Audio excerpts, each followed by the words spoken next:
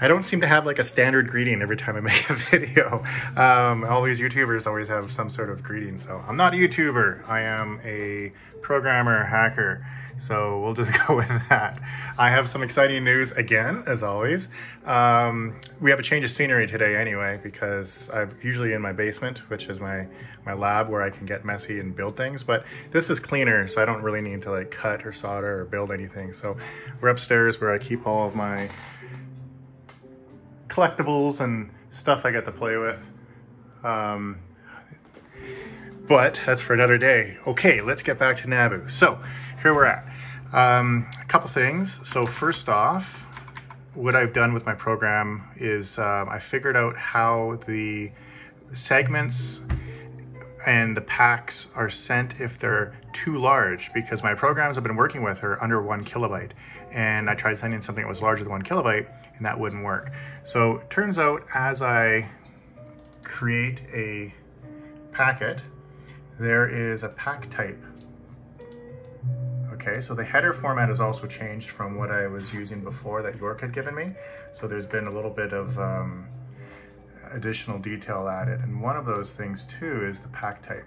So when the pack is greater than, let's see, a specific uh, size, there we go, last packet, we set the fourth bit of the, of the byte and that will say it's a last packet. If it's not set, then we can continue sending more packets. So I could demonstrate that. What I've done is I've taken my Hello World program and I've added, because you guys love this, a lot of NOP. NOP, NOP, NOP, NOP, NOP, NOP. So I made the file large.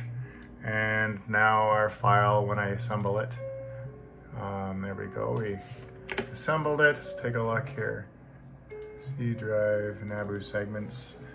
So now it's two kilobits. Okay, so I mean, it's not crazy, 1.74, but it needs to be at least in two segments. So we'll run our server. And how the server works at this point is um, segments are, are numbered, okay? And inside of a, a segment is multiple packs. Now, I have to review the documentation because the terminology that I've been given from York I think is backwards. I feel like a segment is a portion of a pack. Okay, so um, the terminology that I've been using with me prior to in emails is the opposite. So it doesn't sound right when I think of a segment as being a larger chunk and a pack being a smaller chunk. But we'll um, we'll clarify that pretty soon because I'm talking to an ex-NABU engineer who's I don't want to ruin the surprise, but we might have some software for you.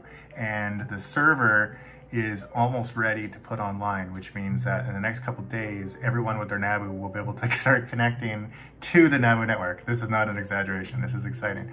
So um, what will happen is if there's no file found, I made a little program that will actually tell you on the NABU, it'll just say file's not found and it pauses for a couple seconds and, and goes back to the main menu. So that's, uh, that's just a little thing that I threw into the server here. Okay, so server will start it and now we'll refresh the, there we go. Okay, so what, what we're gonna see here is two packets being sent.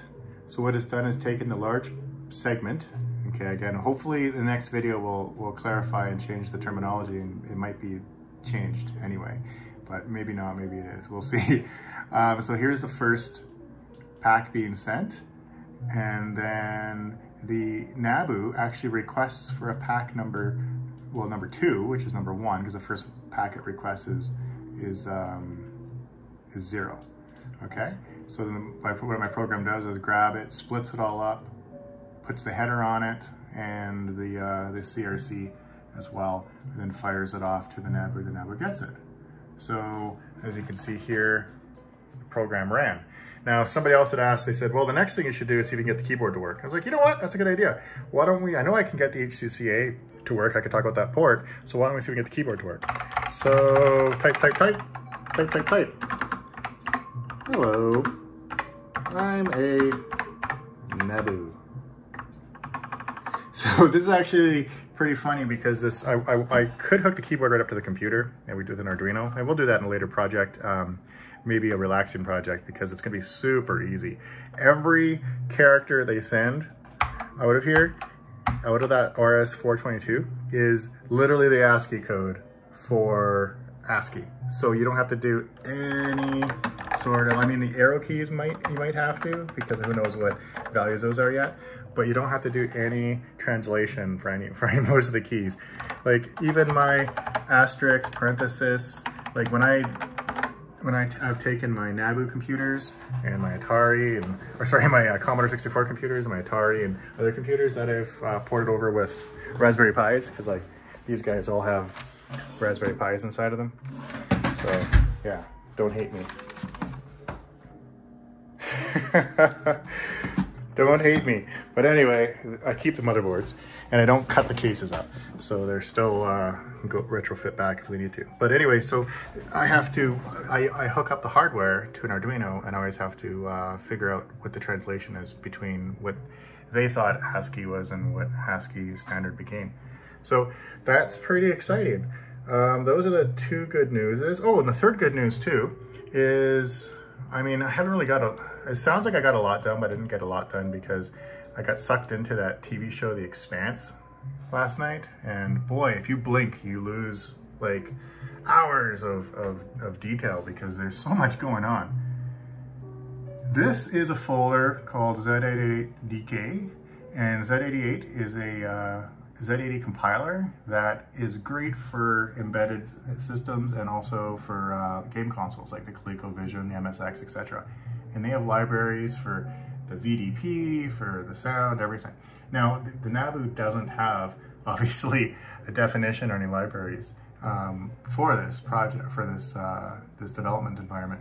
So what I'm doing is I'm actually creating one, and that means that we'll be able to have uh, C programming with the headers and the libraries and everything to access all the code. Now, this might actually change a little bit because what I started to do yesterday was talking directly to the hardware. Um, I can't, I don't want to jump the gun, but it sounds like we might actually have an ex-NABU engineer who has all the software, including the iOS, and he might be able to send it to us. So it's pretty exciting. And I should add a little bit more information here to clarify how the Nabu works because what we've been doing is we've been loading a segment. Here, I'm gonna use a Nabu computer keyboard for this. How does that sound? Okay, so the, um, the this, what happens is we get asked right away is for the iOS. So the, it asks for a, a uh, segment called 000, so one, two, three, four, there we go, six. Okay, it asks for that segment, and then it asks for each individual pack. So if there's multiple packs, it increases until I send all the packs, okay? Now, if, um, if when the main menu loads, after doing that, then all of your programs also have a number. Let's say 00006 or something, right? And then all of the packs for that will load slowly. And the reason why they split it up too is because on the carousel, like I had mentioned, there might be segment uh, pack number one for segment number one. So we'll just like one dot one, and then there'll be one, or sorry, um, one dot, there won't be one dot. I can't backspace yet, so one dot one, then it might be like two dot one, or two dot two. Minus my bad typing. It's a new keyboard for me to use, come on. It's 40 years old, right? So each each segment will have a different piece, and then it might loop around, and now you get like 1.2. And then you'll get 2.2. And the reason why they do this, they had to split it all up too, is because you're right, and I mentioned this before, that it's a six megabit um, transfer on this carousel, okay, over the cable modem. But the speed between the network adapter and the Nabu is 111 kilobits. So you can't take all of the data and fire it into over the, uh, the, into the Nabu that quickly because you would need to have enough cache, which let's say you're loading like a you know a 40 kilobit program. You need to have 40k of RAM inside the network adapter, but not just that, you also have to be able to calculate the CRC, the header, you get to store it, you got to split it up, right? You have all these different things you have to do. So you end up, this 40K ends up become, really quickly becoming like say 100K or some, who knows, right? Depends on, uh, on how efficient the programmer is. But either way, their solution was just to split up the program into smaller pieces so that um, they come after, right? Because their, their SUNYnet is always being sent. The NABU may stand for um, net, network, whatever, bidirectional stuff, stuff, but there was really no bidirectional. Um, there was a uh, like an actual physical landline analog modem that you could connect to it that I know we had at our at our house, but my uncle's house. But um, I don't I don't recall, and I don't remember. He, like I said before in another video, he did have a version of the cable modem that allowed you to transfer data upwards, but the uplink didn't exist for majority of uh, people who used it because um, there was no way to send data back. The carousel just accepted data. That was it. And you couldn't download the data anyway, right? Because the carousel wasn't dynamic. It wasn't um, something that you could request something for. It was just this constant thing. And then what was neat about this though is that, and the reason I'm explaining this is that when one, when this segment, one, two, one, two, when that segment, the very first segment gets asked, gets requested, gets loaded, okay? Oh, oh, there was a symbol button here. I went to hit shift and I'm hitting the symbol. So when request 000001 gets loaded, it gets requested, um, that is actually the iOS, like I'd mentioned, and it also contains the main menu. Now, when the iOS gets loaded, it contains a ton well, that's that symbol button's going to be a pain in the butt. Um, it contains a bunch of subroutines. And these subroutines are essentially the BIOS that you would find inside of a ColecoVision or an MSX or some sort of uh, computer that's already got a bunch of help helper subroutines for, for programmers. Now, if we say take a look here at, um, let's see, where are we here? There we go. Let's get into our folder, this file here. This is going to be important. So if anyone has seen this file yet, the NABU PC technical specs, if you haven't seen it, I recommend grabbing it just to have it and archive it. And it's fun to, to preview, but there's information in here about not it's about it's not about the communication between the NABU and the network adapter or anything else. It's really just how the NABU itself is working and requesting files, etc.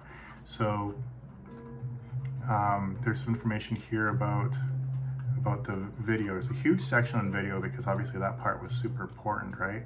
But let's, there's a little bit on sound, but here's the internal operating software. And talks a little bit about um, the iOS layout. So when it downloads it, where you're going to find your applications, program stack, and uh, BIOS calls you can use. Okay, and then there's different. Look, they're telling you how you can get to different locations. You can jump to some locations. You can call some locations. Yeah, yeah, we know that. But let's, and it talks about CP/M, and they crossed out all the things on CP/M that do not work, like console output, system, reset, punch output, things like that. So these are the these are parts of the CP/M manual that are not supported. So when people talk about that there's a, a limited IO um, CP/M in the NABU, they're correct. okay, so let's go down here. Another little bit of information here about uh, segment handling. So se uh, segment handling is essentially like what we're doing, right? We're sending over files. This is how the iOS treats it. So when I first saw this, I got excited. I was thinking, oh my God, this is going to be the header that's expected. And you know, segment addresses and stuff. And it's like, no, no, no. This is just the, the template in RAM that the, the subroutine will use to be able to request the data. And you can see here uh, segment headers, start addresses and end addresses. So this is how the programmer would be able to request things. And there's some examples on how to do segment handling. And if we keep going, the reason why I'm showing you this is because they created a ton of subroutines to aid the programmer. And a lot of them are documented in here. And let's see here.